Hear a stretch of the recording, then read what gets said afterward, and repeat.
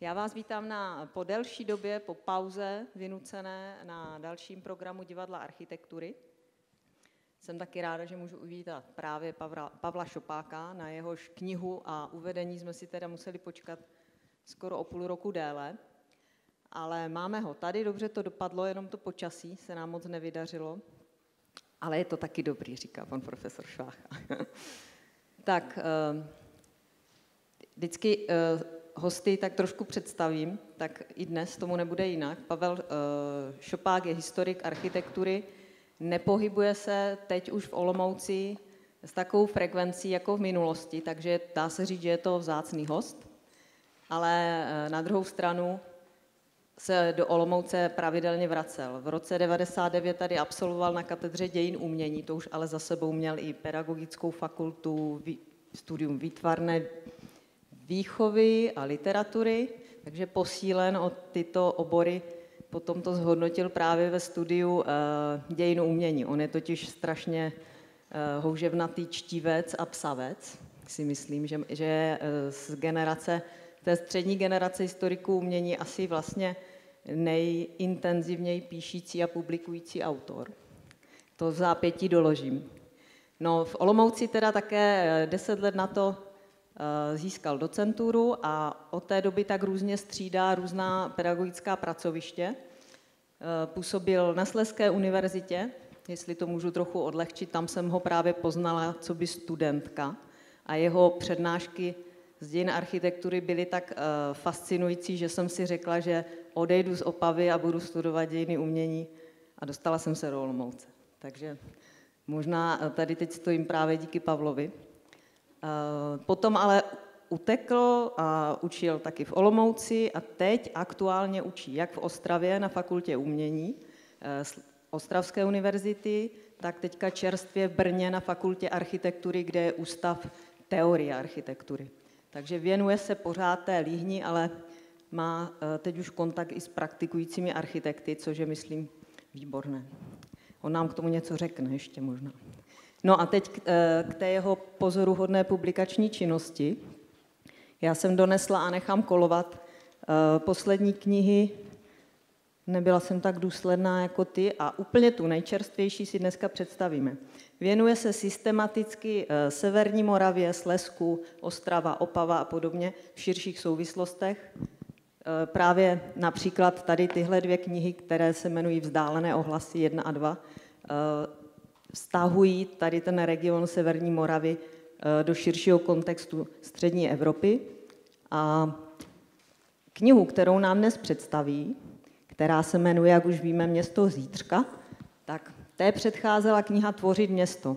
Tehdy se zaměřil na vztah Ostravy, Opavy, to, co ta města spojuje, co je odlišuje eh, v severomoravském regionu, ale pokusil se o to tež i z městy, která na první pohled spolu nemají moc společného. Takže on nám dneska řekne, k čemu došel v rámci svého bádání a ve zkratce zkusí vysvětlit, co si potom, doufám, přečteme v té knize. Konečně předávám slovo. Takže já děkuji, děkuji Martině, Martině Mertové za uvedení, eh, za to, že si tuto akci vymyslela, že ji vlastně zařídila, že ji zorganizovala.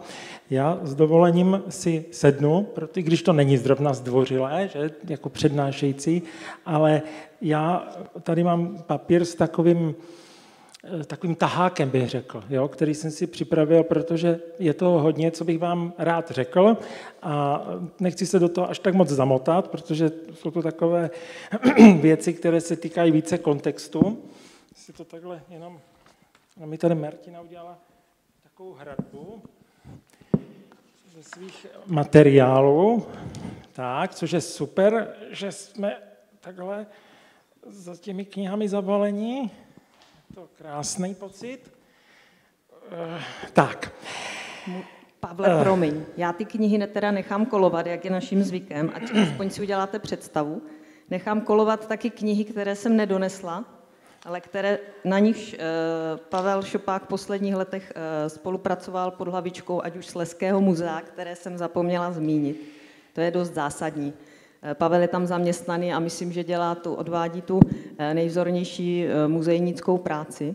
nechám taky kolovat pro představu. Nejsou tam samozřejmě všechny ty články publikované v ne, nespočetných periodicích, ale jeden jsem přece jenom donesla, jelikož jsem na to zapomněla, musím to říct, ta vazba na Olomouc a na spole, aktivity spolku za krásnou Olomouc je docela přímá skrze eh, Pavlův zájem o postavu Rudolfa Eitelbergera. To je jakýsi náš, eh, nechci říct maskot, tak to zlehčit. Guru se taky moc nehodí. Takže prostě idol historický, doufáme, že eh, narozený v Olomouci, Pavel nám to chce spochybňovat. jsem před chvíli říkala, že to nesmíme prozrazovat, ale dá se říct, že Pavel jako jeden z mála českých badatelů pro, pronikl nejhlouběji, co se týče Eitelbergerovských záhad a témat a jeho článek uvedl eh, číslo zpráv památkové péče jako jeden z prvních, takže nechávám kolovat ještě aspoň tenhle článek. A tamhle vzadu je takový válec s hlavou eh, Rudolfa Eitelbergera, takže kdyby si někdo z vás chtěl koupit knihu, tak vězte, že to skončí v té hlavě zlatousté a my to zase použijeme na uh, líbé účely pro zdravý rozvoj města Olomouce. A už opravdu končím, omlouvám se. Takže ještě jednou díky Martině. A, takže eh, nejenom Martině, ale vlastně i Muzeu umění, protože eh, ta knížka je vlastně svým způsobem spolupráce našeho Slezského zemského muzea a Muzea umění, které vlastně do toho vložilo, řekněme, své materiály, své podklady. My jsme vlastně, obě muzea jsme státní příspěvkové organizace a eh, skoro bych řekl, že bychom mohli spolupracovat i víc, jako, a ač mezi námi není ani 100 kilometrů, tak zase tím, že Slezské zemské muzeum je víc vlastivědné, víc všeobecně zaměřené, není to umělecké muzeum nebo muzeum umění, tak ty vazby jsou výjimečné, spíš sporadické. Tak jsem uvažoval, že třeba výstava gotiky od gotiky k renesanci byla takovou nejvýraznější eh, záležitostí v posledních 30 letech.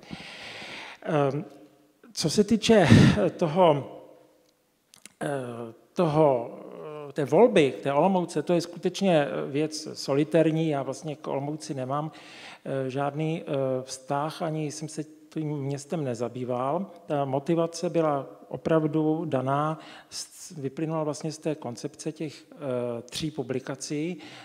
U toho tvořit města jsem vyzkoušel takovou, řekněme, metodu, Eh, srovnání dvou měst a sledování určitých obecných jevů na dvou eh, urbánních celcích, protože kdybych psal o jednom městě, začal bych psát víc ty reálie toho jednoho města. Kdybych si vzal zase víc těch lokalit, už by to možná skončilo jako takový jako slovník, trochu by to bylo tezovité. A myslím, že dvě nebo tři podobná města umožňují eh, víc jakoby zobecňovat některé aspekty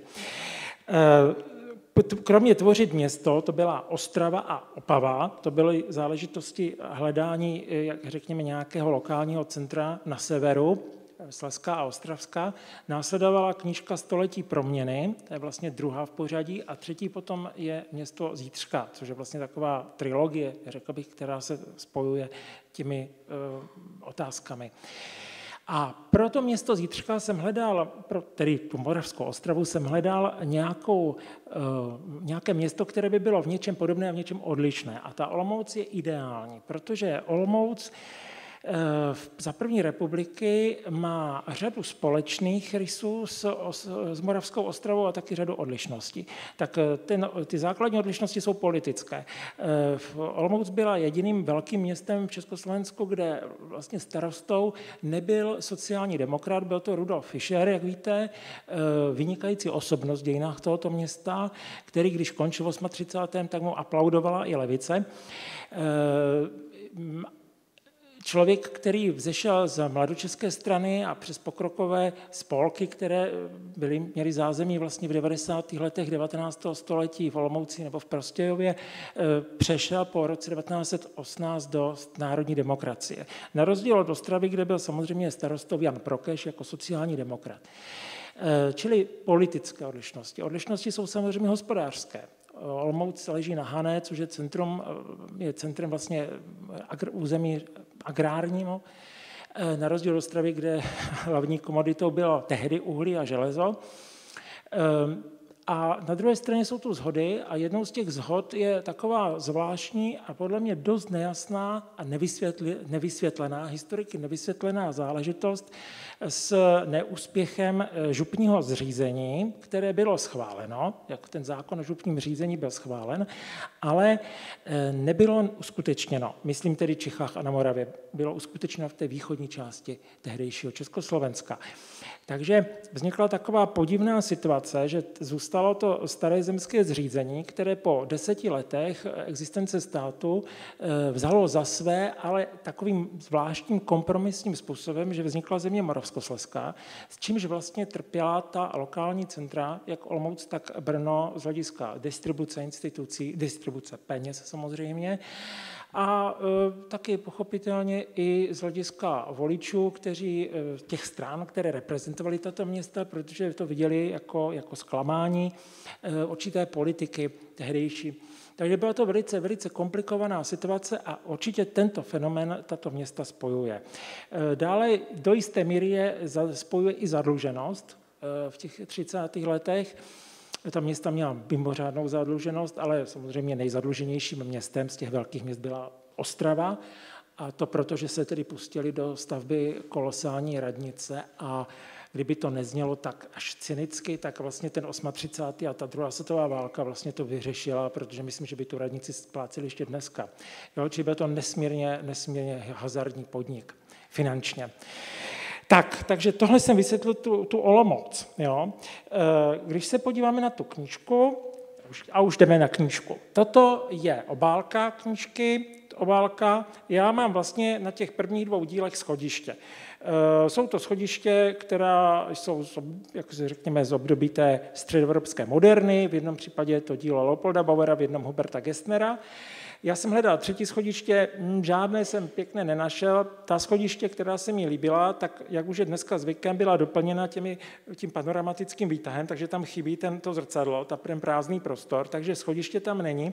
A nakonec jsem našel tady tuto fotku. Je to fotka, která svým způsobem jakýmsi vizuálním motem i toho města zítřka, té perspektivy, ač je tedy pořízena až po druhé světové válce, těsně po druhé světové válce, je to z Moravské Ostravy, je to pohled z eh, portiku divadla ostravského eh, směrem k obchodnímu domu Brouk a Babka od Karla Kotase. Takže tam máme ten dialog té staré historizující architektury eh, a Alexandra Gráfa, který je autor divadla, a té, toho funkcionalismu Kotasova. Um, jak, eh, jak my jsme se o této fotce bavili s Lukášem Martlem, kterého zdravím tady, je sedí tam ve čtvrté řadě a teď budu velice poučený, protože mě upozornil na to, že ta fotografie je inscenovaná. Eh, a pravda je, že existuje skutečně takový proud v té eh, fotografii, kde se pracuje vlastně s tím prvkem toho dítěte, které se jakoby polně pohybuje v tom městském prostředí já eh, bych tady připomněl Miloše Budíka, o kterém Lukáš psal a zajímal se o něj. A ten Miloš Budík udělal takovou hezkou fotku eh, z horního náměstí tady z Olomouce, jak tam poskakuje takový kluč, klučina, který se dívá do výloh a tak si je tak jako veselé skáče. Takže ten dětský element je tam velmi podstatný. Eh, je to vlastně opravdu velmi zajímavý fenomén v té fotografii sociální, nebo takové, řekněme, tendující k tomu sociálnímu dokumentu. Eh, ještě bych připomněl jméno Josefa Ilíka, podle mě vynikajícího fotografa, který dokonce nafotil celou knížku, která se jmenuje Praha zasněná a tam vlastně fotil město a fotil tam svoji dceru, která se tam vždycky objevuje, jako malou holčičku, která se takhle objevuje vždycky někde, takhle náhodně vykoukne z toho historického prostředí. Eh, tak ta logika nebo ten smysl toho poselství je naprosto jasný, že je to vlastně taková určitá katarze po té druhé světové válce, je to vyjádření té naděje a té očisty. Eh, toho, toho, tento dítě vlastně jakoby ukazuje tu budoucnost a vlastně to zbavení se těch traumat, toho starého, vlastně to, co už nechceme v tom mm, psychickém, bych řekl, v tom existenciálním smyslu slova, nikoli pro Boha v té architektuře, jo, to je myšleno skutečně existenciálně. Takže tolik k tomu obrázku. Možná, že to je, a klidně bychom se mohli o tom někdy ještě, nevím, kde je autor, jestli to není z toho souboru Viktora Koláře seniora, jo, což je otec Viktora Koláře, toho známého fotografa, který zachoval, po něm se zachoval několik tisíc fotografií tohoto typu. Které jsou v Ostravské archivu. Je to mimořádný dokument, doposud naprosto nevyužitý a já pevně doufám, že se s Lukášem k tomu ještě někdy dostaneme. Tak a další obrázek je zcela záměrně volený taktéž, jež to ne, Takhle, já jsem spletl šipku. E, to je Dům umění od Huberta Austa, návrh z roku 27, který měl stát na Havličkově ulici v místech zhruba dnes, kde je památník Rudé armády.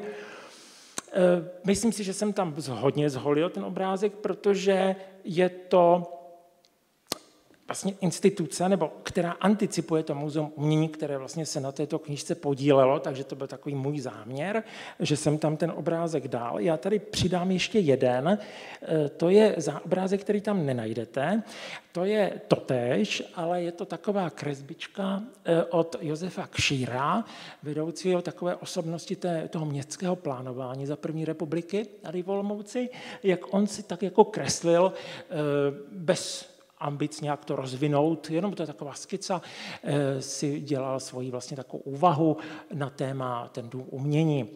A hned vlastně protěžkem tady této, této, eh, této fotografie je eh, dedikace této knihy. Já jsem si dovolil tu knihu dedikovat panu profesorovi Zatloukalovi. A tohle musím tedy podrobně vysvětlit, jestli dovolíte. Mám to tady dokonce sebou. Jo? Ehm, v roce, na konci 80. let minulého století to zničí nějaký věk, že? Na konci 80. let minulého století jsem jezdil do Olomouce, do galerie výtvarného umění, která tehdy byla ve Vurmově ulici. A mm, byl to takový iniciační motiv, já si pamatuju řadu těch výstav, velice dobře si pamatuju třeba velkou výstavu Karla Svolinského v roce 86, on v září toho roku zemřel vlastně v průběhu konání té výstavy, vlastně k jeho 90 nám. Eh, nebo o paní Jemelkové, tam byla zajímavá výstava eh, jako práce z papíru, jo, takové jako eh, jo, narušování papíru, propalování. To byly takové věci experimentální, což mě se mi líbilo. A e, tam jsem zakoupil tuto publikaci, kultovní publikaci Historismus, jo, od e, pana profesora, jo, tady to mám, a díval jsem se 27. srpen 87, jo, jsem si tam napsal datum. A to byla pro mě taková iniciační záležitost. Jo. E, ta e, publikace mě inspirovala vlastně a inspiruje stále ve mé práci. A e, to dvěma způsoby. Jo. Nejenom ona samozřejmě, i další texty pana profesora z 80. let, ať to bylo o Šumperku psal do Severní Moravy, o Přerovu a o Ostravě do časopisu Památky a příroda, a mm, o kroměřížské architektuře také do tohoto časopisu. A právě tyto monografie, drobné monografie měst a vlastně tady tento syntetický materiál a potom ještě některé studie z časopisu umění, na kterých participoval třeba Vladimír Šlapeta nebo Jindřich Vybíral, tak to bylo takový ten základ, ten půdorysté orientace v té problematice. A včera Uh, jsem, se, jsem si to tak, když jsem si to takhle jako chystal, jakože to tady fakt jako ukážu, že jsem vlastníkem, protože to je naprosto, naprosto nedosažitelný, nedostupný, uh, nedostupná věc, nedostupná publikace, uh, tak jsem si s tím listoval a říkal jsem si, že vlastně ono to i po více než 30 letech funguje. A napadla mě taková vlastně analogie s Mendelovou soustavou prvků. Jo?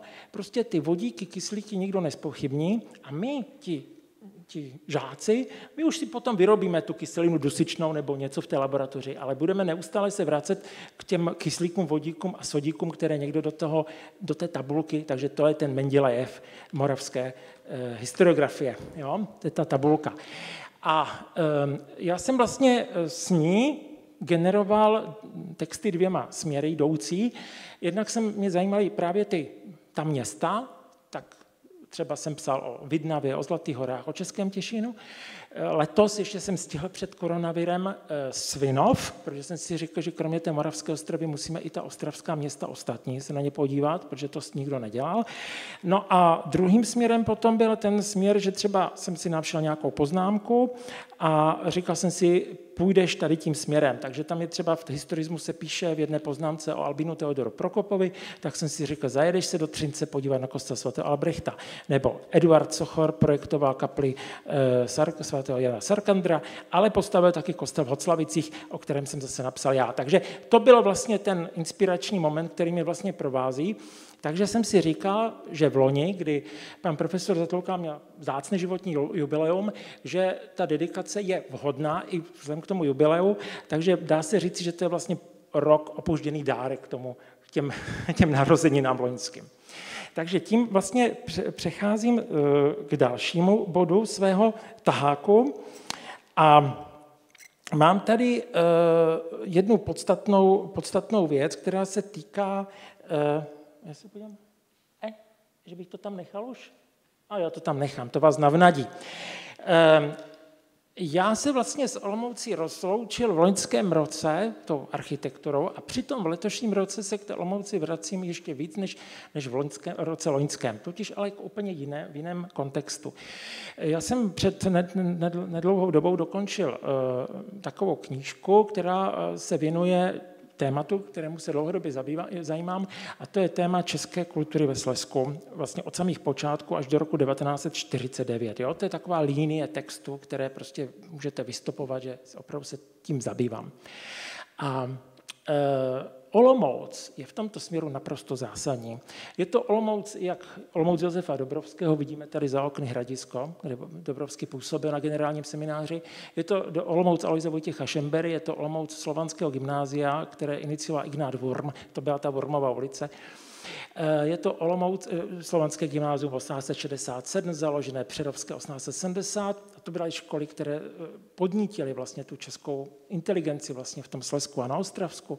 Je to Olomouc vlastně politických stran, protože Mořic Hruban, třeba Jan Žáček, který má pamětní desku na Národním domě, to byli zase politici, kteří významným způsobem ovlivnili ty poměry na Ostravsku i ve Slesku. Takže vlastně tím jsem se zabýval. A když jsem se vlastně tím tak jako zabýval, tak se mi to nějak, ne v tom textu, to ne, ale při přípravě tohoto vystoupení potkalo a říkal jsem si, jak to vlastně fungovalo. Jak vlastně ta kultura vlastně fungovala, protože to téma, které mě zajímá, je vlastně téma toho veřejného prostoru nebo vůbec městského prostoru, jeho modifikace. A jakým způsobem vlastně probíhá to zrození toho prostoru, jak se formuje ten prostor.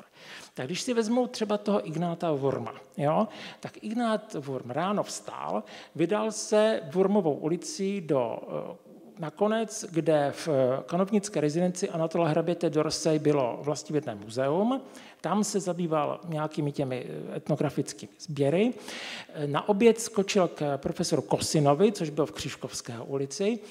Tam se tak jako zdrželi, řekli si, vydáme se na Blažijské náměstí k Janu Havelkovi, Jo, tam měli kafe s bábovkou a na večeři byli u Jana Žáčka v Národním domě. Jo? Čili vlastně ten, ta česká kultura, to byly tyto buňky, tyto domácnosti, tyto salony a moc toho mezi tím nebylo. Jo? Bylo nějaké divadlo, dejme tomu, ale ten veřejný, ten sekulární prostor vlastně moderní se vytvářel velice složitě. Protože ano, byly kostely, jenomže to je něco jiného. Že jo? Byla náměstí, ale to byly tržiště, to nebyly politické prostory, nebo prostory, které nesou nějaký politický obsah. Čili vlastně to, čemu my říkáme kultura, to se vlastně rodilo opravdu v tomhle soukromí. Jo? Byly samozřejmě hostince, jo? E, hovory olympské, Jana Evangelisty Kosiny, to je vlastně taková stolní společnost, jo? to je velmi důležitý text. Ale tam nevíte, o tom prostoru se nedozvíte nic. To je jenom o té interakci těch lidí v nějakém soukromí. A tak jsem si položil otázku, kde se vlastně rodí ten veřejný prostor moderní. A e, jakýmsi návodem k tomu nám můžou být třeba koncepty Karla Friedricha Schinkela pro Berlín. Jo? Je to takový exkluzivní koncept toho Schinkel, to Schinkelovské pojetí města. Jsou to vlastně taková obrovská tělesa, jak fyzická, tak imaginární, takové jako bubliny vzduchové, které k sobě přiléhají v pravých úhlech, je to v takové, vloženo do takové ortogonální sítě a vy vlastně se v tom prostředí takhle pohybujete. A to je jako jakýsi ideál, jo, ideál takovéhoto racionálního města. A my tu máme v Olomouci jeden takový případ, jenomže je to případ s určitou výhradou je to vlastně prostor před biskupskou rezidencí, který se pro, v, to, v takovýto veřejný městský prostor proměnil úpravou toho parteru. I když vlastně ta zástavba okolní byla starší a vlastně nebyla intencionální ve vztahu k tomu, tomu náměstí. Jo? Uvědomme si, že veřejný prostor není něco mezi uličními čarami. Jo? Tomu prostoru my musíme dát nějaký, nějakou semantiku a on v nás musí vyvolávat nějaké emoce určitou úpravou, určitou prací s tím prostorem. Jo? Tady je to ten rastr těch stromků a uprostřed je to samozřejmě ten pomník. E, to, že to je datované 1848 je symbolické, protože to je samozřejmě nejen datum vlastně nastoupení Františka Josefa I. na trůn, ale je to především eh, ten rok tedy té revoluce a toho, jaksi, toho veřejného eh, hlasu, eh, řekněme, té, takového prvního hlasu té občanské společnosti toto je podle mě velmi podstatný, podstatný takový iniciační moment, který ale samozřejmě eh, v, dimenzi, v dimenzích té Olomouce eh, hrál eh, roli částečně s jiným konceptem a to je vlastně koncept takové té eh, geometrické, takového geometrického formalismu. Toto je stránka z časopisu Deutsche Bauzeitung z roku 1877. Je to vlastně jakýsi vokabulář možnosti, jak se mohou potkat ulice. Jo, čili ulice budeme prostě nějakým způsobem povedeme podle pravítka a ty se někde střetnou a ty střety nějakým způsobem budeme artikulovat. Jo? Ale to je samozřejmě záležitost čistě mechanická jo, čistě mechanická. A na konci století proto v Olomouci přichází jako taková proměna v osobnosti, v důvěrně známé, a to je osobnost Kamila Siteho. Já si tady promítnu tento detail. E, teď musím vstanout, teď nevím, co se stane, protože musím položit i ten mikrofon. Jo.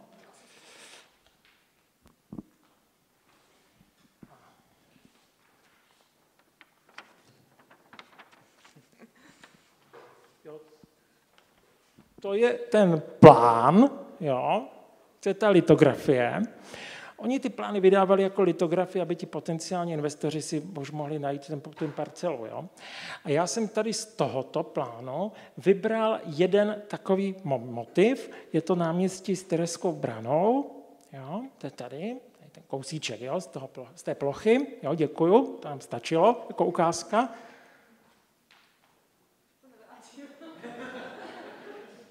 No dobře, no tak, tak to bude v dobrých rukou.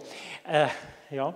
Takže, ale když se na to náměstí podíváme, máme tam, máme tam evangelický kostel, židovské, tam gymnázium, jo, je tam všechno možné. On to v podstatě je taky takový pokojíček, jo, je to taky takový salon, je to takový kabinet, jako byly ty kabinety u toho Havelky a u toho Wurma. Jo. Je to prostě taková, Um, jako pěkné to tam asi by bylo, kdyby to bylo, že tam ta Tereská brána, ale je to malé.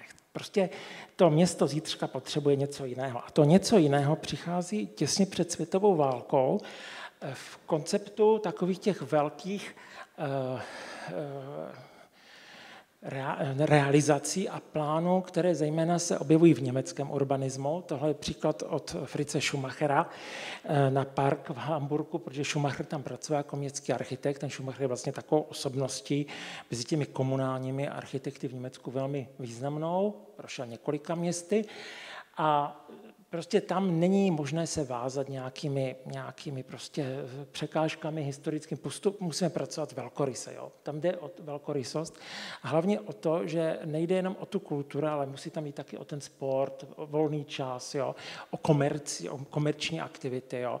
E, v tomto směru je to období, kdy se hovoří o lidových divadlech, o lidových knihovnách, o lidových galeriích, o sportovištích, o dětských hřištích, o školkách, školách, aby tam prostě byla, byly prostě nějaké eh, příležitosti, kde si ty děti můžou hrát a kde si dospělí můžou hrát.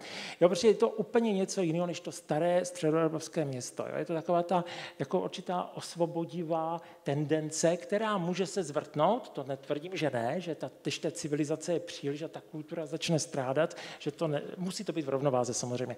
Nicméně takovýto velkorysý koncept opravdu ovlivnil ten urbanismus potom první republiky mnohem víc než ten siteovský, ten kulturně založený, kulturně historický.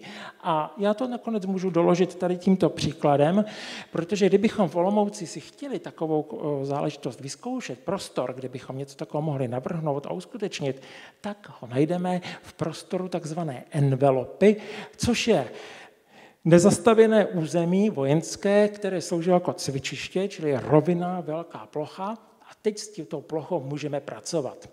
Ehm, z hlediska využití tohoto velkého prostranství, které dodnes vlastně svým způsobem není dořešeno, jo, a jsou kolem toho velké debaty, ehm, se objevovalo hned po vzniku republiky ehm, taková myšlenka, velmi ambiciozní myšlenka, že se zde vytvoří výstaviště takové zemské výstaviště.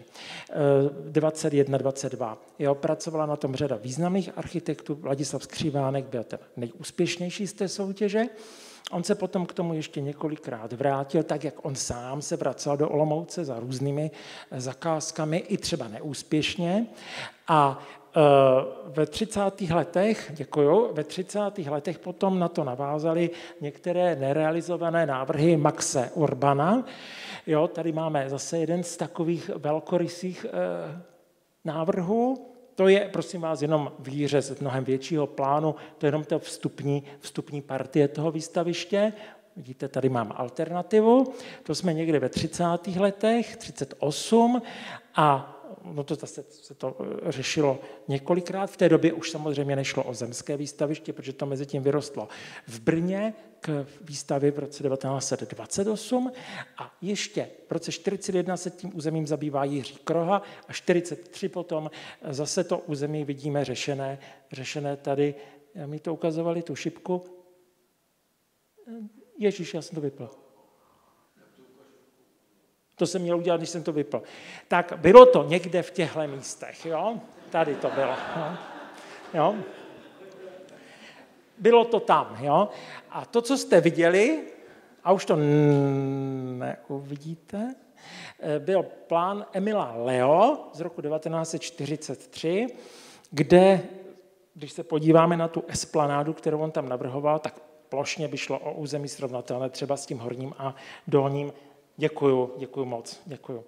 Náměstím, jo? Takže jde tady vlastně o tady to, ten prostor, jo? Tak, čili toto je nesmírně důležitá věc. Já si myslím, že toto je taková, takový, řekněme, že zpracování tohoto území můžeme chápat jako takový manifest toho města zítřka. To je, to, to je ta minulost a to je ta budoucnost, když to hodně samozřejmě zjednoduším. Teď se podívejme na jinou věc. Jak by měl v tom městě zítřka vypadat dům? Obyčejný, obyčejný dům. No tak eh, mohl by vypadat takto. Jo?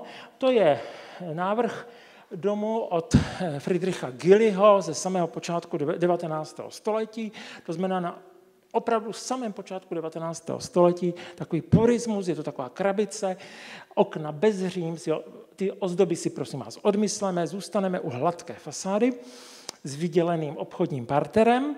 Tento dům by klidně takhle mohl být realizován v roce 1920, klidně, můžeme si na to podívat.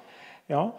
Domy elektrických podniků města, města Olomouce, které vyrostly v, v několika etapách, eh, eh, které jsou dodnes zachovány jo, od eh, architekta Josefa Macharáčka, který pracoval pro městský stavební úřad. To je jeden z takových, jedna z možností, ale je to ještě málo, jo, protože klíčovým problémem je právě ten prostor a to jeho, ta, jeho, ta jeho expanze a to překonávání vlastně těch bariér, které eh, vytváří to, ta běžná stavba s okny a s dmy. Jo. Ideálem Tady je to už trošičku nakročeno, je to u toho Jana Výška, to jsou ty dílny dřevařské školy. E, jinak, prosím vás, ty reprodukce jsou záměrně voleny takto, jsou to reprodukce z dobových materiálů, záměrně zvolené. E, toto je konkrétně z mezinárodního e, sborníku soudobé aktivity Fronta z roku 1927. I ty další, které uvidíte až na jednu nebo dvě výjimky, jsou to, abychom si představili, s čím mohli mohli opravdu ti architekti v těch 20. 30. letech potkávat se, s čím mohli pracovat. Takže tady vidíme toho Jana Výška, u toho Gropia už je to mnohem, mnohem dál, že? A to je přesně takový ten ideál, jo? že překonáme tu hranici mezi tím vnížkem a vnitřkem a maximálně ty, dva, ty dvě entity vlastně propojíme. K tomu propojování potřebujeme samozřejmě mít ty velké, velká skla, velká okna. Dokonce my musíme narušit i v tom parteru, i tu hranici, musíme tam toho člověka nějak vtáhnout, musí nás lákat to, ten přístup do toho domu nějakými, řekněme, tehdejšími marketingovými prostředky architektury. To vidíme tady zase na, tomto, na této adaptaci vlastně staršího domu. To jsou vyobrazení z knížky, která se jmenuje Architektura a světonázor. Jo, vyšla na počátku 30. let. A čemu se musíme věnovat taky, jestli je schodiště, protože schodiště je klíčový prvek, tam totiž můžeme narušit takový ten sled těch pater. Jo? Tam můžeme víc posílit takovou tu vertikální dimenzi a taky ten vnějšek a vnitřek můžeme tak hezky spojit. A tyto principy, které jsem tady tak jenom nadhodil, potom můžeme sledovat v té olomoucké architektuře nebo stavební kultuře. Já jsem si tu vybral jeden dům jo, z mnoha jiných, který se zase tak často neobjevuje v literatuře a je to vlastně tento nenápadný dům na Denisově ulici, ani si ho skoro nevšimnete, protože tam člověk dává pozor, aby ho nepřijal tramvaj, aby se díval po domech. A mm, je to tedy ten úzký dům Mates od architekta Karla Fischera. Eh, až půjdete někdy kolem, povšimněte si, že to okno v tom mezaninu, jo, v tom, to je to velké okno nad tím vstupem, má dnes, bohužel, jsou tam okna se zvýšeným parapetem. Jo, tam není to okno až na zem, jo? protože tam jsou byty nebo něco tam je. Samozřejmě, že ten snížený parapet neodpovídá normám, jo? takže to, tam prostě bylo okno až na zem. Jo? A prostě takové to propojení vnějšku a vnitřku, to propojení těch etáží, jo, to vtažení vlastně i toho člověka do toho příběhu toho domu, do té funkce toho domu, si myslím, že v, opravdu v maličkém, v maličkém, v koncentrované podobě u tohoto domu funguje.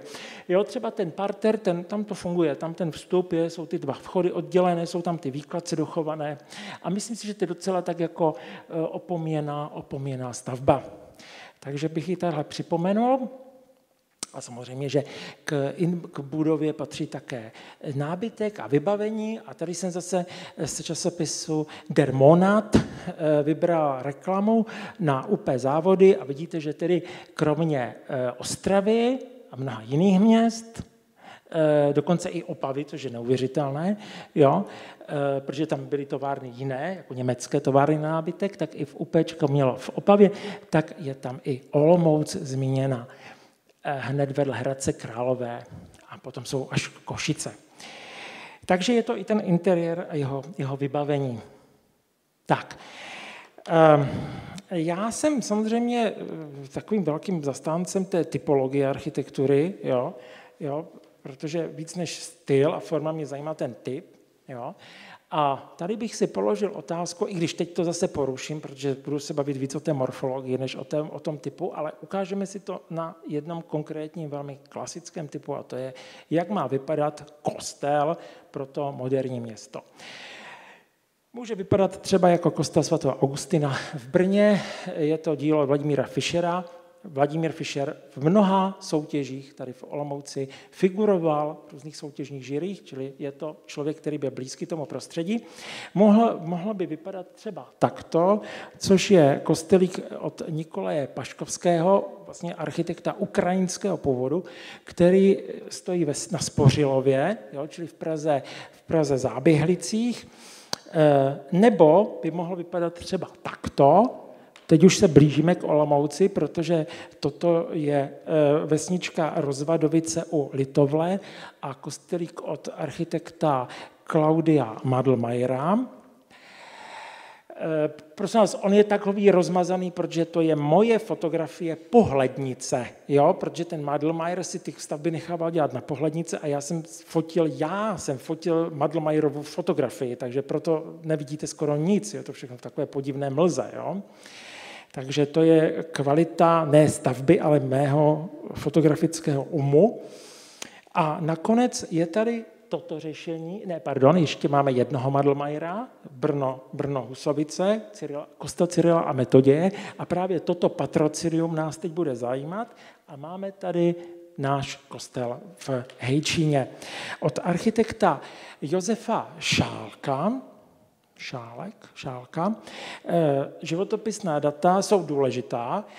1888 až 1950, čili na letošní rok připadá eh, už připadlo, protože on zemřel 8. května 1950, 70. Eh, výročí umrtí tohoto architekta.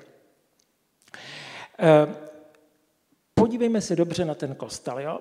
To je kostel, který jehož stavebníkem byl moravský metropolita Leopold Prečan a e, měl symbolizovat zároveň tu roli církve v tom novém moderním státě, který vyznačuje bezvěrecké hnutí, e, volná myšlenka v Ostravě, že velmi silné hnutí, Eh, silné tendence, čili nějakým způsobem musel reagovat na všechny tyto, ty, ty, tyto tlaky a zároveň eh, by měla zachovat si něco z té tradice. Jo, je to takový problém té tradice a inovace, který tady se nějakým způsobem nabízí k řešení a k analýze.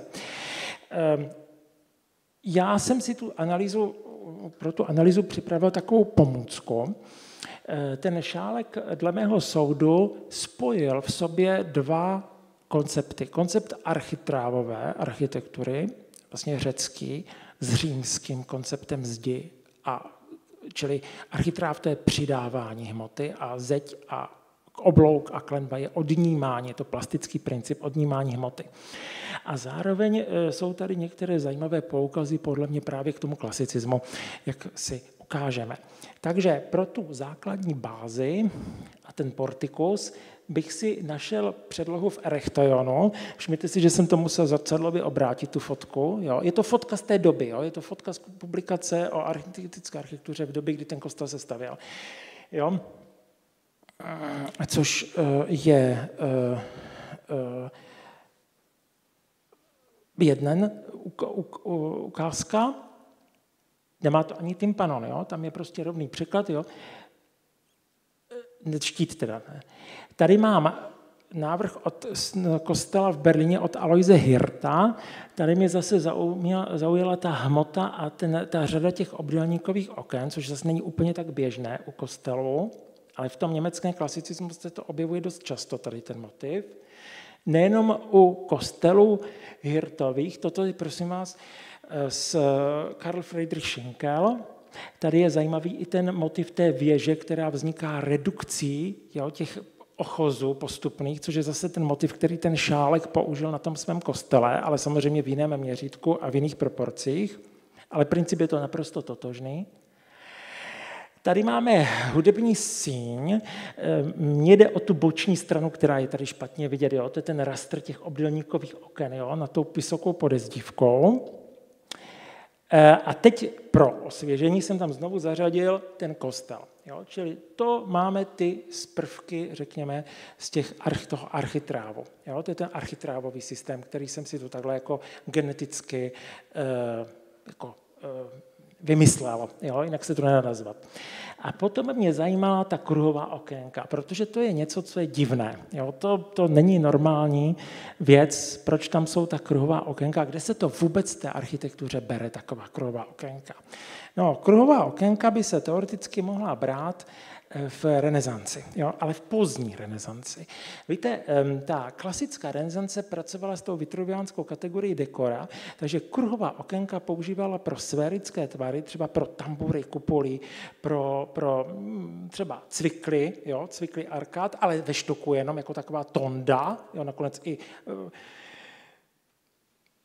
já nevím, Luca della Robbia jo, dělal vlastně kruhové Madony, že Botticelli maloval, Rafael maloval kruhové Madony. Jo, čili kruh je v malířství, v sochařství, ano, ale v architektuře moc ne. A jestli tak na prosvětlení u sakrálních staveb, kde je důležité to v užití sakrálních staveb a u těch sférických objemů, Tady přece jenom to u toho Palladia bylo zřejmě dost mimo, jo, mimo tuhle tradici, hodně, hodně vlastně už přechází z té klasické renesance, logicky, no tak jak je to Palladio, že? tak to myslím tu nejvyšší etáž vlastně toho, toho, eh, té fasády. Jež, pardon, tady jsem našel jeden palác, je to prosím vás, je to palác Spáňa v Kremoně, kde jsou kruhová okénka, ale já, já nejsem si jistý, jestli to není 19. století. Jo? To nejsem si úplně jistý. Jo? To renesance je stoprocentně ten spodek. Jo? To může být ještě nějaký restaurátorský zásah, ale jinou budovu profání s kruhovými okny jsem vážně nenašel. E, nicméně najednou se nám v té moderní architektuře s těmi kruhy začalo pracovat v okruhu Oty Wagnera. To je slavná budova na dům na Renvegu, dneska je to velvyslanectví chorvatské, chorvatské velvyslanectví na Renvegu, kousek vlastně od, od Belvedéru. A tady vidíte vlastně fasádu, která je zakončena vlastně kruhovými okny. Uh, on vlastně, uh, Wagner použil, se inspiroval vlastně tímto řešením, to je Baltazare Peruci, Jenomže ten Peruci má tu fasádu malovanou. Jo? A všimněte si, nahoře má ty festony, čili to je zase takové to, to ta fasáda má jako ten koberec, je to ta odí, odívaná architektura, ale nemá tam ty kruhy, má tam čtverečky, obdélníčky, jako jo, ty kruhy tam nejsou. Jo. Nicméně ty kruhy jsou pro Wagnera důležité a co víc, jsou důležité pro jeho žáky. Jo. E, pro, mm, podívejme se nakonec, je, pardon, to zase jdu zpátky podívejte se na Antonína Engela, jo? to je přímo obsese s těmi kruhy. Jo? Um, u Leopolda Bauera to najdete, u řady, řady dalších autorů prostě se pracuje s tím kruhovým motivem. Jenomže u toho šálka ten kruh není použitý, ježiš, já jsem to se vypil. Hm, já jsem šiška. Martino, prostě zachraně. Cože, kluci to řešil. No to je bezvadný. Ježíš, datuil se špatně, opačně? Tak, ne, špatně. Já, já se chci vrátit totiž k tomu šálkovi. Jo, jenomže ten šálek použil vlastně ty kruhy ne nahoře, ale použili dole. Jo? A to je, to je právě to, co mi tam jako na, tom, na té fasádě hodně provokuje. E, proč to tady říkám? Chci dokázat to, že stavba, o které se běžně říkalo, že je tak na hranici toho, při své prostotě, aby reprezentovala moravského metropolitu, na hranici, jo? že je vlastně strašně zajímavá. Je to takové dobrodružství té architektury. Jo? A ono je to totiž problém, protože e, myslím si, že tady tohle to napětí, které tady jsem se snažil takhle simulovat touto velice rychlou takovou ukázkou různých možných vlivů, koresponduje vlastně i s tím napětím v té církvi. Jo? Protože něco jedno je identita architektury, ale vlastně i konfesní identita církve. Jo? Eh, to není něco, co eh, není nějaká kacířská myšlenka. Ona skutečně, eh, římskokatolická církev na Moravě procházela takovou složitou konfesní identitou. Ti kněži věděli, že musí být vstaženi k římskému biskupovi, protože to je papež a to je jasné, že to je ta autorita. Ale oni zároveň věděli, že jsou to slovančtí kněži a že metropolita Moravský je vlastně dědicem svatého metoděje. Jo? Jako v tom symbolickém, v tom kulturním smyslu slova. A v tom vlastenectví, v tom cyromatodickém vlastenectví je to velmi silný motiv. Jo? Takže najít vlastně to, tu, to na, nějakou rovnováhu mezi těmito dvěma identitami muselo být poměrně náročné, jako jak ji vyjádřit. A troufám si tvrdit, že kdyby v té době byly vykopávky na Velké Moravě, tak daleko, jak byli o 30 let později, tak by možná o tom kostele uvažovali jinak. Oni podle mě neměli ještě příliš mnoho informací o té velkomoravské architektuře a o těchto věcech, protože každý Každá citace, vidíme to třeba i na eh, některých náhrobcích, že eh, třeba které se vypadají jako románské nebo slovanské, vždycky to spíš jde k tomu románskému umění. A není to to velkomoravské, to je ještě něco, něco jiného. Nevím, takže to jsou spíš takové náměty, které mě k tomu, k tomu eh, a teď já půjdu dopředu, vedly. Je to každopádně téma moderního kostela, ale nejenom z fasády, nejenom exteriéru, ale i toho prostoru, jak ten kostel vlastně vytvořit. Tady máme slavnou slavnou stavbu, je to kostel svatého Ducha ve Vídni od Jože Plečníka z let 1908 až 1913. Interiér který pěkně ukazuje, jak kousta v budoucnosti má vypadat. Jo. Čili e, oltářní stěna je hladká, je pokud možno vyplněna nějakým obrazem, mozaikou a oltář není nějaký náročný, těžký retábl, který vlastně vyplňuje, přeplňuje ten prostor, ale je to poměrně taková subtilní konstrukce, spíš umělecko-řemeslné provedení, kde si myslím hraje roli i teda ten materiál, to znamená kov, jo? taková ta lesklost toho materiálu, je to trošku takový ten novoplatonský prvek, jakože práce s tím světlem a takové to blištivé, tam hraje podle mě, tam hraje roli. No a toto je Vídeň a teď to zase vypnu. No, tak toto je vodárna, to ne. A toto je Olomouc, jo? Toto je Olomouc, jo? Čili ten princip je tady vlastně identický. Eh, já bohužel nemám opačnou stranu toho kostela, protože jenom připomínám, že i varhaní skříň navrhoval Josef Šálek, asi varhany samozřejmě dělala firma Rike Klose v Krnově. Takže to jsme se podívali na to, jak vypadá kostel. No a teď se vydáme vlastně do ulic města, jo, sestoupíme vlastně z té vysoké architektury k takovým jako běžným stavbám. Eh, toto je, prosím vás, Brno, dostavba policejního ředitelství a já jsem to tady zařadil proto, protože to je jediná stavba, o které vím, že ji projektoval ten Josef Šálek, jo, protože jinou, jinou šálkovou stavbu jsem jako obrázek nenašel. Tak abyste viděli, jak vypadaly šálkové stavby, trošku to připomíná toho macharáčka. Že jo. Eh, co je ale podstatné, že vlastně tu fasádu, kterou klidně mohl odvodit z toho Gillyho, z, těch, z toho Šinkela, z toho klasicismu, eh, tak najednou zaoblil. Jo? Čili to je jedna z takových důležitých konvencí, takových konvenčních figur eh, v, vlastně v, v práci s hmotou, architektonickou, v tou kompozicí. Že tam je vlastně ten konvexní tvar na tom nároží, který potom samozřejmě máme v takovém spektakulární podobě u toho architekta Čermáka u té firmy ASO, že, což je taková známá věc. A je to jedna teda z mála fotografií, které nejsou historické. Toto je můj snímek. Jo? Pěkný, pěkný. Lukáš je pěkný, jako, jo? neříkej, že ne. Jo? Já vím, Lukáš by to vyfotil líb, ale nebyl na blízko. Ale pozor, toto je o to vzácnější snímek, který není tak dokonalý. Je to kino Metropol a já jsem uh, od Jaroslava Česala a e, jedna z těch soutěžních otázek, které jsem si vymýšlel, potom jak mě Martina neustále inspirovala k tomu, že teda se tu bude soutěžit, jo, tak jsem říkal, co kdybychom položili otázku, z jakého časopisu je ta reprodukce. Ale protože já jsem přímo těhotný tím, abych vám sdělil tento svůj objev, tak já to řeknu i bez soutěže. Jo. Jsou to heraklitové rozhledy. Jo? Zaprvé byste to stejně neuhádli, a, což byste mi pokazili radost a já vám řeknu, jsou to Heraklitové rozhledy, skutečně takový časopis vycházel od roku 1932, on dokonce vycházel v české německé mutaci. A proč? Protože ten strop je z Heraklitu. Jo? A e, je to jedinečný zdroj prostě ikonografie architektury, najde tam spoustu staveb e, z moravských měst, jo? je to fakt úžasné. No a našel jsem si tam právě takovýto veřejný prostor jo, v té opravdu podobě, kterou ta 30. léta už potom eh, samozřejmě eh, zastávala, aby to byl prostor velice jednoduchý, čistý, eh, bez nějakých citací, historie, bez vztahu k minulosti, prostor, který můžeme naplnit nějakým obsahem, jakýmkoliv v podstatě. No samozřejmě je to řekněme to upřímně, po té hospodářské krizi, je to skutečně taky počátek i té konzumní společnosti, která se vlastně v té době rodí. No ale samozřejmě není to jenom ten konzum, jsou to i ty ideály a takovým velkým tématem první republiky je téma školy.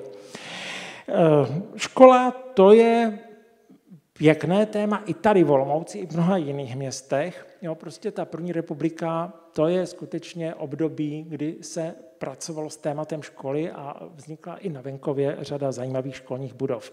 Tady máme, prosím vás, různé typy škol, historických škol z různých německých měst, to je z encyklopedie stavitelství a všechny jsou symetrické, nejčastěji uzavřené kolem nějakých dvorů. Jo? To, o tom šlo. Teď přichází 20. století, který vlastně tu, tu uzavřenost narušuje, otevírají a když tomu přidáme sklo a beton a takovou tu volnost, kterou jsou tyto školy jakoby vrženy do toho prostoru, tak dostáváme vlastně určitý ideál školní budovy, který se docela dobře dá ilustrovat také na olomouckých příkladech. Toto ještě není ten případ Olomouce, to už já jsem přešel trošku z těch fotek i do té projekční přípravy, jak taková škola vlastně vypadala. Tohle je škola ve Stuttgartu a už to bude. Ještě to není, to je prosím vás tady takové jakoby odbočení, protože samozřejmě ty debaty o tom, jak škola má vypadat, probíhaly v tom českém prostředí a jedním z takových te, eh, konceptů byl koncept halové školy, který rozvíjel Oldřich Liska.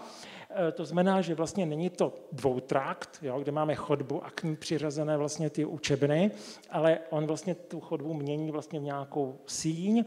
Zase ovšem, aby těch těch tříd tam nemůže být hodně. Kdyby to byla velká škola, která potřebuje hodně paralelních tříd, tak ta hala by byla obrovská, aby pro, proporčně se zachovala, jako byla tam zachována proporce vůči tedy těm, těm učebnám.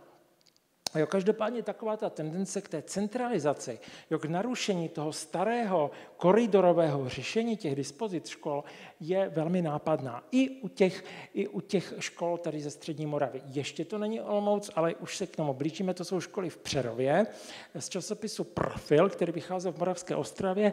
Já jsem to tady zařadil spíš pro to, jakým způsobem se kreslilo. Jo? Je to takový jako ukázka kresby, určené i pro veřejnost, jo? jakým způsobem se vlastně ten architekt eh, reprezentuje eh, jako, eh, jako v té schopnosti vyvolat určitou imaginaci, jo? představu o té nové o té nové budově. A toto toto ošklivé, ano, to jsou prosím vás plány, které jsou vytažené z, z aktového materiálu, jo? čili jsou spisy a ten plán je tam nějakým způsobem vložený, takže to nejsou krásné čisté výkresy, které jsou někde třeba tady v Muzeu umění v depozitáři. Jo? To je prostě v šanonech e, zastrkané a musíte to tam prostě z toho složitě e, dolovat. Tak tady máme území lascu, jeho regulaci a vidíte, že ta dispozice té školy odpovídá těm tendencím reformním, to znamená narušit ten uzavřený eh, blokový systém a těmi rameny, těmi křídly se vlastně jako dosáhnout co nejvíc do té zeleně. Že? Ale nejenom zeleně ve smyslu třeba školní zahrady, ale aby tam byla ta sportoviště, hřiště a ten, ten tělocvik, že aby tam byl prostě, jo, to je důležité u těch škol.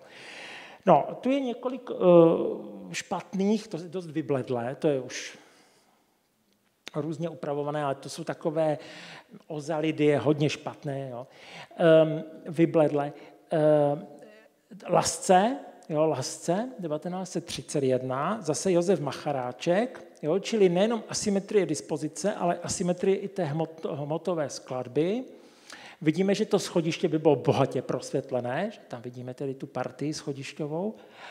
Tady máme schodí Pavlovičky, to stojí, a dokonce u této školy se zachovala i to okolí, že tam není ta zástavba, že z jedné strany tam může, jsou pole nebo nějaké zahrady. Jo, či to tam, tam, myslím si, že kdybychom hledali nějakou školní budovu eh, a chtěli bychom se podívat, jak by vypadala v těch 30. letech, tak ta je možná jediný, jediný případ, kdy se dochoval. Není to prostě zastavěné území. Ona ani není vlastně špatná, nějak, ani ten exteriér není nějak vážně narušený. Jo ono to přijde všecko, jo? ono jak se začne s těmi zateplováním, tak to je potom katastrofa, jo? tam to ještě nedolehlo. Jo? Jo? Jsou školy, já třeba znám školy, třeba opravdu mám vyzkoušené, že jsem říkal, to je pěkná škola, to si pojedu vyfotit, já tam jedu a už to tam valili, jo, ty polystyreny a už bylo pozdě, jo? a už bylo pozdě a už, už mi, už prostě Lukáš tam nebyl, aby to vyfotilo a už byl konec. Už není dokument pro budoucnost. No, tady vidíme takový detail eh, neředin, protože skutečně ten Macharáček pro jednotlivé ty čtvrtě té velké Olomouce navrhoval tyto školní budovy v poměrně dlouhém časovém intervalu. Toto už je rok 39, že začali jsme rokem 31. Tady máme ještě tělocvičnu, Vidíte, že to je ten výšek, to jsou ty dřevařské školy. A už to vlastně vstoupilo do té běžné praxe toho stavebního úřadu. Taková jednoduchá forma. Tak a blížíme se k závěru mojeho vystoupení. A ten závěr e, taky uvodím takovým, takovou poznámkou. E, jsem si tu napsal Platz und Monument. Jo? To je známá kniha Alberta Ericha Brinkmana z roku 1908.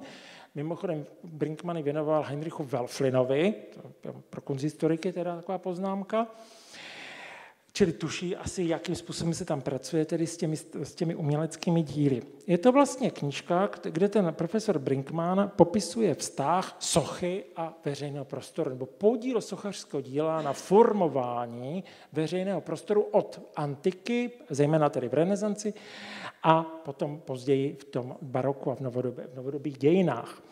A tento, toto téma bychom mohli kdybychom měli tu energii a ten čas, mohli bychom klidně napsat takové pokračování pro tu první republiku, protože právě vztah toho prostoru, toho náměstí a toho monumentu, který vlastně organizuje ten prostor a nějakým způsobem mu dává určitou identitu, je velmi zajímavým způsobem doložitelné, třeba i tady z moravského prostředí. I když tato ukázka to je jenom jako ilustrační ukázka, se netýká Olomouce, je to Zlín, je to kresba Emanuela Hrušky z roku 1940. Jo, tam jsou ty studijní ústavy, že a tady máme takový zajímavý historizující, eh, historizující téměř barokní eh, sloup.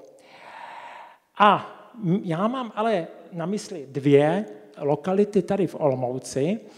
Tou jednou lokalitou, to je prosím vás zase ten sitého plán, jo, jeho výřez, bude ten blok naproti těch kasáren, jo, čili Žižkovo náměstí, Žižkovo náměstí, se kterým, jak vidno, se vůbec nepočítalo ještě v sitého období.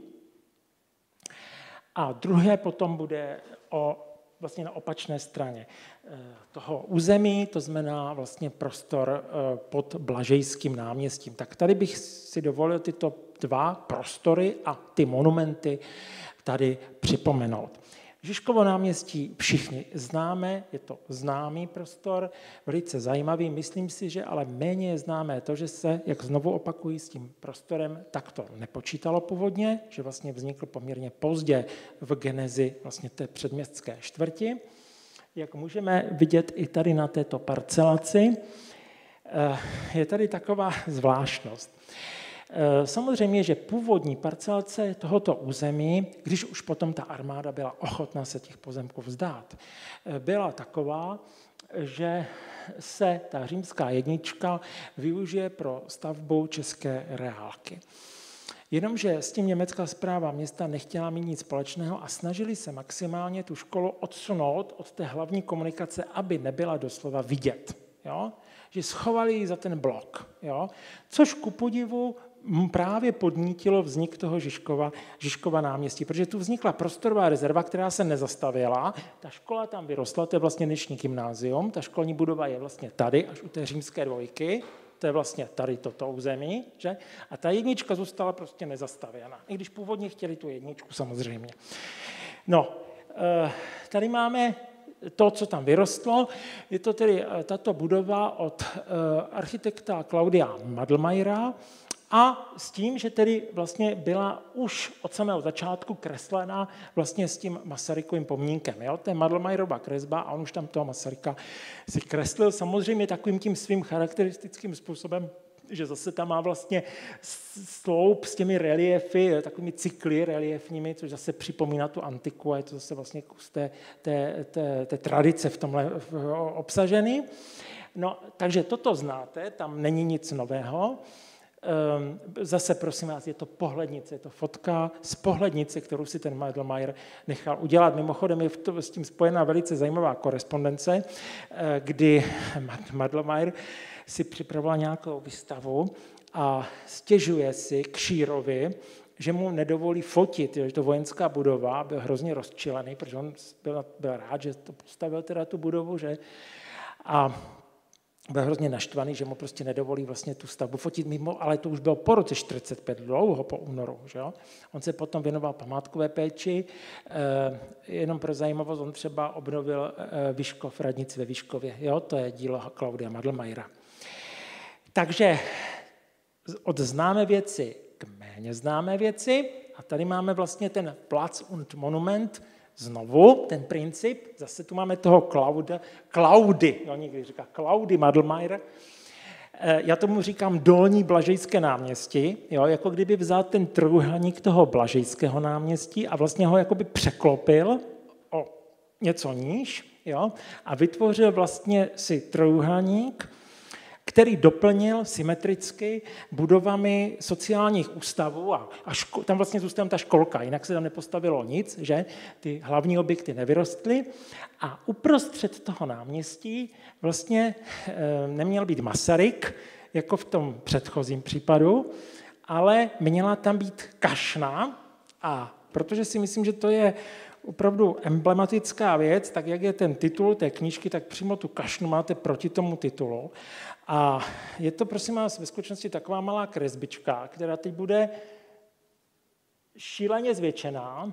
Jo, to vidíte, ten rastr toho papíru, jo, ten hru, jak už, už je prostě ty, ty částičky toho dřevitého papíru. A je to vlastně kašna svobody, jo, čili k těm barokním kaštám těch, těch Jupiter, k těm Jupiterům a Cézarům a Merkurům najednou přichází i ta republikánská kašna svobody, takže jedno to náměstí s tím Masarykem a tady máme vlastně to, to blažej, dolní blažejské náměstí s kašnou svobody, ovšem nikoliv od Madlmajera, to je zase Kšírova, Kšírova kresbička. Takže mně to připadá jako takový opravdu, ač je to drobnost, tak je to jako frontispis v té knížce. No a úplně na závěr toho mého vystoupení se dostávám k mé nejoblíbenější stavbě, eh, která je opravdu pozoruhodná a možná by to stalo na samostatnou přednášku. A to je toto. Jo? Mauzoleum, slovanské mauzoleum, které je opravdu, to je opravdu takové, to je spektakulární věc. Tedy je to samozřejmě sken pohlednice, vidíte, že někdo psal jako voják nějaký psal, tam naše kasárna, tam, tam bydlel jo, v tom domě. Jo. Ale co se mi na té pohlednici líbilo, že ty smrky, jo? to tam už samozřejmě takhle nevypadá. Jo? Čili ten kontrast té antiky a té přírody, jo? že podstata klasicismu je vlastně postavit tu kulturu vůči té přírodě, jako do té opozice. Jo? Či ten bílý kamenný materiál postavit, nebo to zdivo postavit vůči tomu, tomu té variabilitě přírody. Jo? To je taková opravdu, jako téměř bych řekl, manifest architektury vyjádřený tady tím. Ale celkově, jo? i to umístěný na, na, tu, na tu kaskádu, jo? ten kontrast těch dorských sloupů s tím, s tím zdivem, jo? to je eh, tak uh, bohaté na různé výklady, interpretace si myslím, že um, jako, no je to hezké, no. Takže tím se loučím já s Olomoucí a zároveň se loučím s vámi. Děkuji vám za pozornost.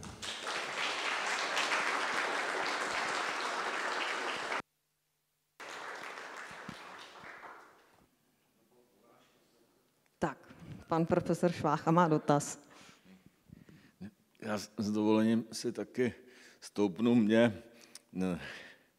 Já jsem, já jsem hm, taky vlastně zažil ta, eh, takové pocity silně nostalgické, jo, že já jsem ještě jako student napsal že jo, takový článeček o olomoucké meziválečné architektuře, to vyšlo ve vlasti v jednom věstníku moravském a byla to vlastně moje druhá eh, publikovaná stať vůbec.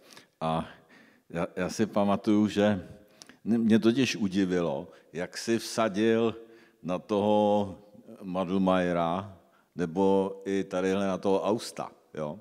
Protože já si pamatuju, když já jsem psal tu svou stať o olomoucké meziválečné architektuře, tak tito dva architekti byli pod moje rozlišovací schopnosti. Jo? A to je vidět prostě ten posun, jo? že Zatímco tehdy prostě jsme žrali ten funkcionalismus a nezajímalo nás vlastně nic jiného, jo, tak se to posunulo asi pod vlivem postmodernismu jo, i k těmhle těm eh, jako mnohem konzervativnějším architektům. Ale Pavle, řekni mi, co ty si o tom, mě, mě zajímá hlavně ten Madlmajer, jo. Co, co si vlastně o něm myslíš?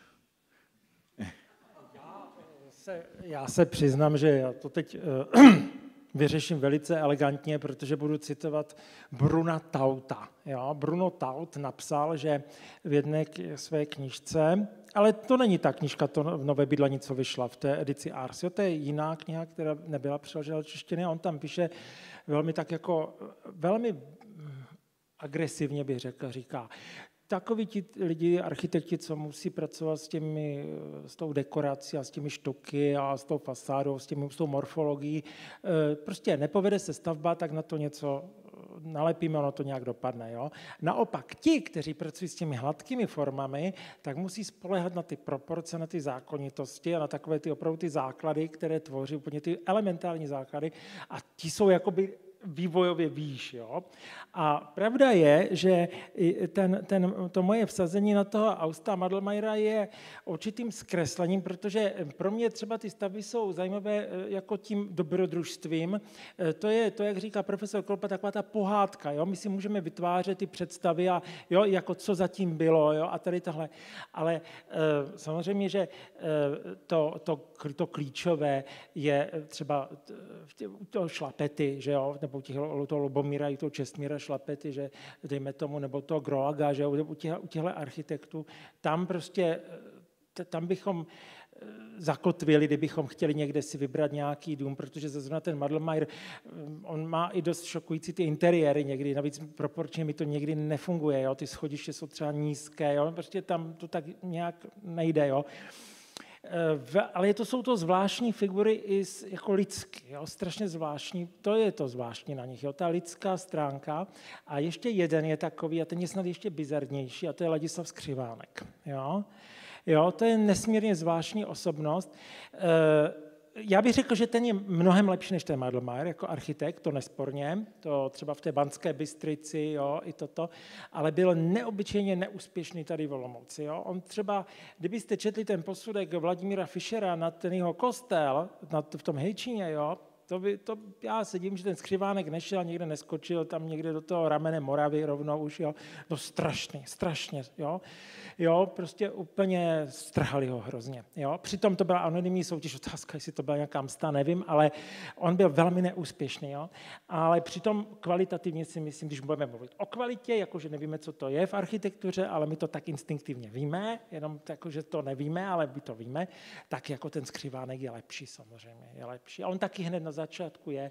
Ehm, tady mi to spíš přijde to takové exemplum, které můžeme uvést někde do nějaké metafyziky architektury, jo? ale tak je to monument, jo? Je, to, je to památník, jo? čili je to takový ten losovský koncept, že architektura je jenom paměník, jo? náhrobek a pomník, jo? to je ta ilustrace. Taky to školení toho plečníka, jo? to bylo velmi uh, svazující, bych řekl. Jo? To vidíme i třeba u Josefa Štěpánku, některý lidi, kteří přešli tou plečníkovou školou, oni měli co dělat, aby se z toho vymanili. Jo? Ten se z toho nevzpamatoval, jo?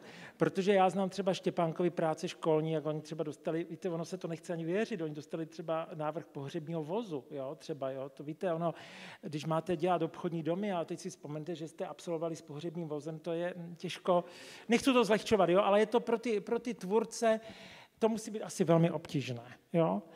Asi to musí obtížné, ale um, Navíc tady je obrovské štěstí, že kus toho není vidět, jo, že tam jsou ty stromy, protože když se díváte z boku, proporčně se mi to nezdá jako povedené. Ale zase na druhé straně si říkám, že tam je někde ten Panteon a je tam i ten Adolf Loos, protože Adolf Loos navrhl, eh, jsou také kresbičky divadla pro Vídeň, kdy má vlastně portikus a má válec a neustále se snaží vlastně jako takovou kvadraturu kruhu jo, vyřešit. Jo. To jsou takové problémy jo. a nešlo mu to teda. Jo. Nelíbí, nelíbí se mi to u toho Loze. Jo. Nakonec on si mu to taky asi nelíbilo, taky toho nechal. Jo.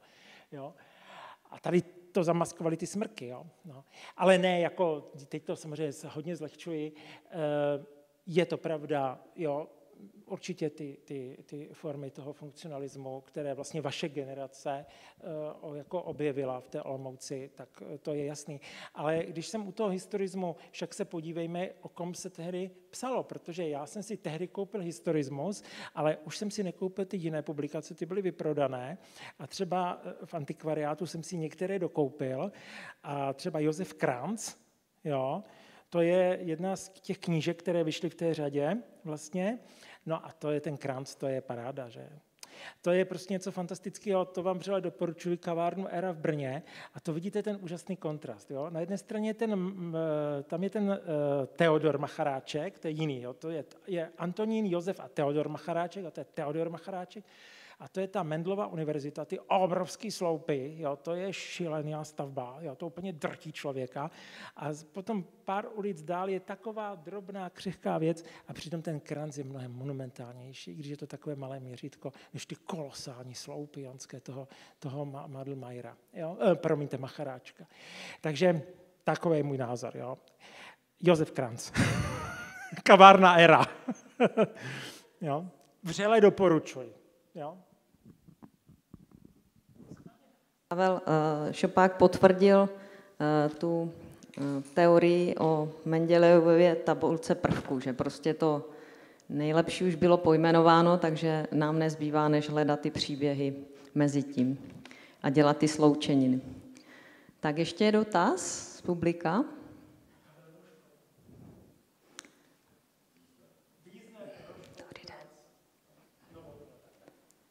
Mm-hmm. Ano, ano.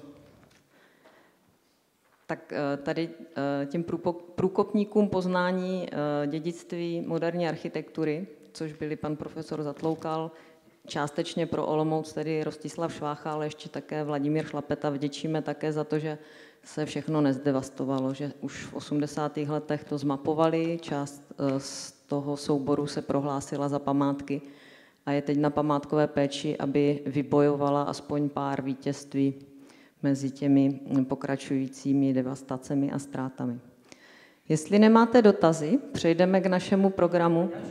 No, prosím. Já ještě, pardon, já musím říct, že, to, že ta zakladatelská generace skutečně měla obrovský e, význam. A víte, co je zvláštní, že to dodnes funguje i z hlediska ochrany toho kulturního dědictví. Jo? E, já jsem z hodou okolností teď v neděli e, provázel, jsem se setkal s Davidem Vávrou, jo? Jo? protože za sebe jako repríza šumných měst šumné opavy, Opavě.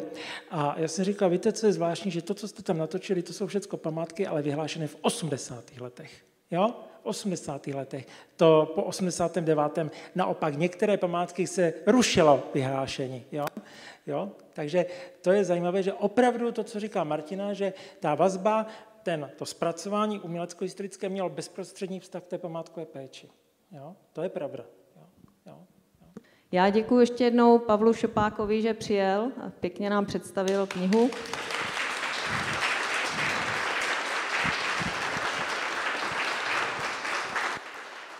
Opravdu ta kniha a ta, co se ještě chystá od pana profesora Zatloukala, se nadlouho zapíše do dějin uh, moravské kunzistorie a vůbec teda zamířeno na dějiny Olomouce. Takže Ehm, máme se na co těšit v případě knihy pana profesora Zatloukala a máme co číst v případě Pavla Šupáka. Naschledanou.